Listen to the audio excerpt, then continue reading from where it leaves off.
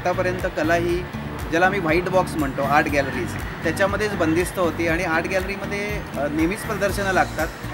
Problem असा होतो की बरेच जणांना हिंमतच होत नाही आर्ट गॅलरीत जाऊन चित्रप्रदर्शन बघायची. आणि बऱ्याचशा साऊथ मुंबईतच आहेत. गेल्या काही वर्षात हे भिंतींवरचं पेंटिंग आलं आहे आणि एक सामान्य माणसांपर्यंत ही कला पोहोचते की ह्या बेडेकर हॉस्पिटलमध्ये तर आपण मदर अँड चाइल्ड एक जो युनिव्हर्सल थीम आहे जी याच्यामध्ये प्रत्येक चित्रकाराने एकतरी चित्र कधी ना कधी केलं या थीममध्ये मोठ्या चित्रकारांनी सुद्धा त्याच्यावर आपण काम करतोय.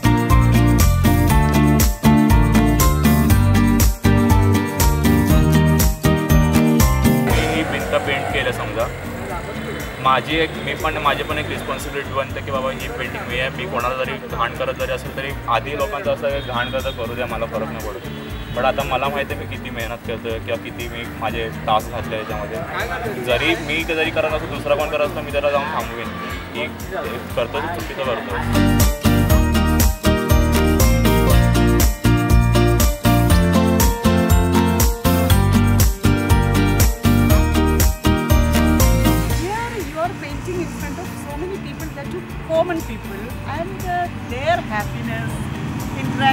them.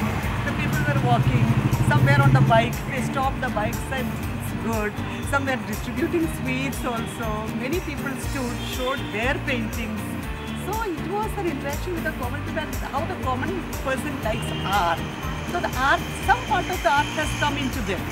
That was the biggest happiness and the what you get from such an experience. This is what I got.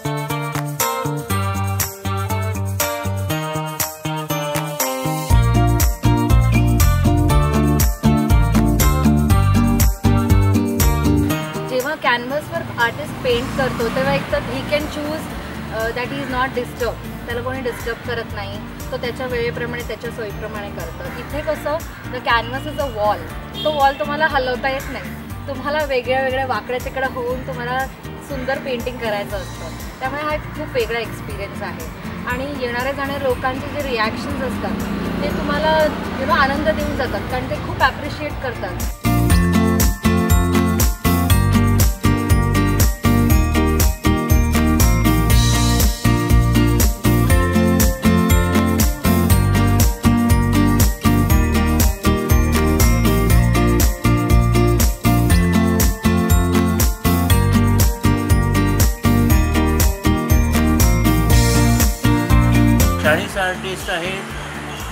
छप्पन फूट आहे.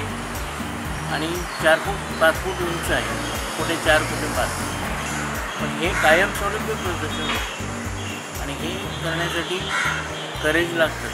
की जात जाणारा येणारा काही बोलतो अरे हे कार्टून काढतायत. अरे हे कुठल्याही प्रकारचं एक दुखावणारं कधी कधी सुखावणार. अशा प्रतिक्रिया लोक देत असतात.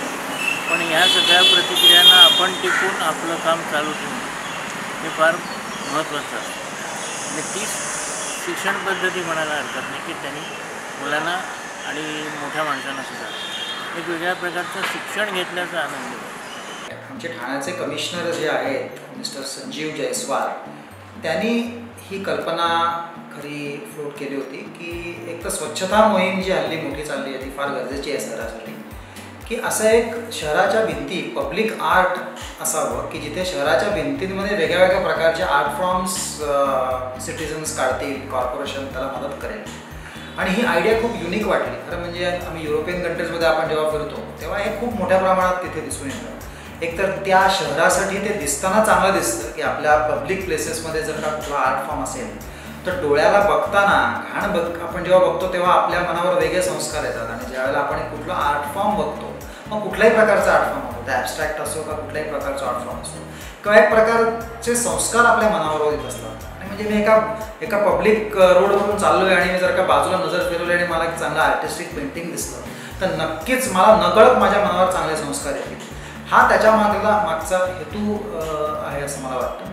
आता ॲज अ सिटिझन मी विचार केला की ॲज अ सिटिझन अशा इनिशिएटिव्हजमध्ये जिथे आमच्या कमिशनर सरांनी असे इनिशिएटिव्ह घेतला तिथे पार्टिसिपेट करणं ॲज अ सिटीजन मला महत्त्वाचं वाटलं थीमचा विचार करताना आमचं हे जे मेडिकल हॉस्पिटल आहे ते मदर अँड चाइल्ड हॉस्पिटल आहे.